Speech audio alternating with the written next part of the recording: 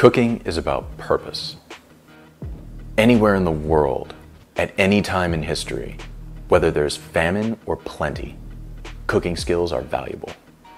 My core philosophy when it comes to cooking is simplicity. Amazing food has been created throughout time just by understanding basic principles of cooking. I keep my dishes affordable and satisfying with an aim to impress. Come with me as we take simple things and transform them into amazing things.